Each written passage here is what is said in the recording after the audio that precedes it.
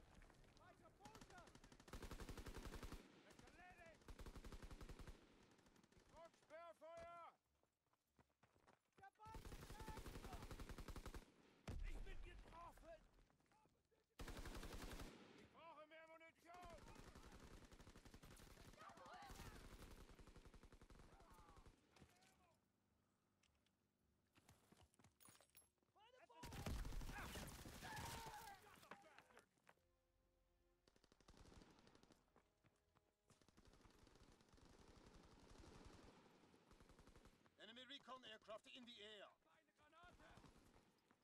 air!